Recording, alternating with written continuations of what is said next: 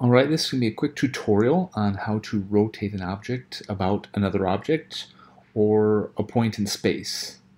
Um, I was trying to do that the other day and I didn't see any other tutorial on it, so I figured maybe someone else wants to do the same thing and I will show you my method.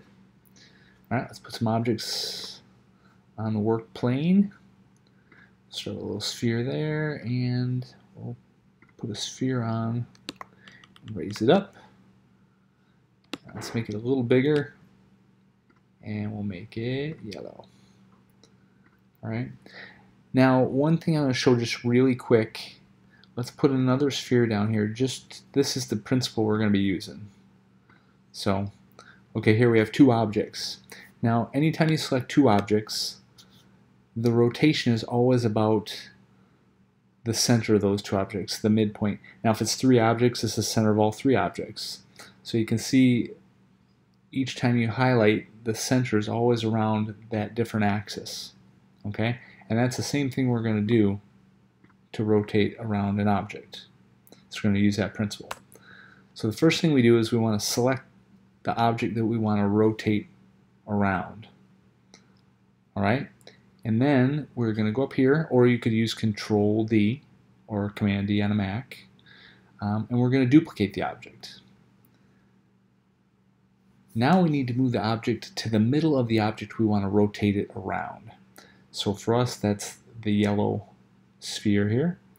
And I'm going to shift click it and select it so that both objects are selected. Now to move the blue ball to the middle of the sphere, we're going to use the align tool. Now we don't want this align tool because as you can see if we hover over one of the choices, see how both the yellow and the blue ball move to the center. We don't want that. We want the yellow ball to stay exactly where it's at. That's when we're rotating around. So we're actually going to go over and click on the yellow ball and now we get the align tool in reference to that ball. So we're going to be moving the blue ball to the middle of the yellow ball and we're going to select all three center points for each axis to move the blue ball to the exact middle of the yellow ball. Now, a neat feature here is duplicate, and if you noticed, it was duplicate and repeat. So now when we duplicate it, it's going to repeat the exact steps we just did to move the blue ball there. So here we go. And there we go. Now the yellow ball is also selected, which is, is no problem because it came with us. Now we'll zoom out a little bit. So now we moved the blue ball out here and we just we're going to select just the yellow sphere out here, the duplicate, and get rid of that. Uh, we're also just for the just I, I like to set this to a hole because that's the one I just know that's my opposite sphere to the one we want to rotate over here in the blue one.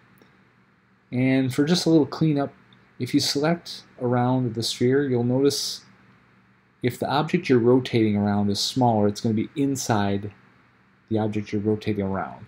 So you can see there's two shapes here selected. Now we're going to shift click the yellow sphere so that now only the blue sphere inside is selected. And then we're going to just delete it because we want to get rid of that. Alright, and now the property I was talking about, we're going to select the hole and shift click the blue object so we have two objects selected. Now as you see, these two objects are exactly equidistant from the center of that sphere. So whenever we use the rotation tool, now we're rotating exactly around the center of that sphere, which is exactly what we're after. So you're just going to move wherever you want to rotate it to its position. And when you're done, you can just select the hole, and there you have it. We've just rotated one object around another. All right, let's try, let's rotate an object around, or based on a, a, a point in space away from the object. All right, so let's zoom in just a little bit right? So we'll try it with a, a red square. Now what I usually do is put the ruler down. I try to get it kind of close. Now when you move the ruler, the two the two numbers here, the four and the five, are the ruler's position compared to the object, the red object that's selected. So we're going to move the ruler so it, it goes to 0 and 0. Okay? So now our object is selected and it's at 0, 0 in these ruler coordinates. Now if we want to move this object 70 units to the right, 30 units, you know, forward on the Y, and 20 units in the Z. What we're going to do first, just like the last one, is we duplicate the object, make a duplicate. Okay. Then we can move it. Now you could you could drag it. You could you know move it however you want. I, I usually choose to grab these. So this is how far it's going to go in the x direction. So I said 70x. Then we're going to choose the y of 30. And then over here is the z component, and we'll go up 20. So now we moved it to the, to the point that we want to rotate around.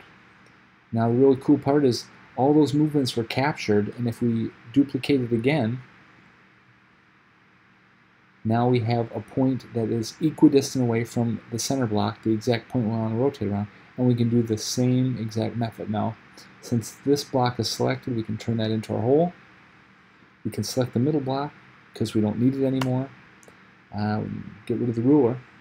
And then, same as before, we have our two objects that can rotate perfectly around the point that we selected.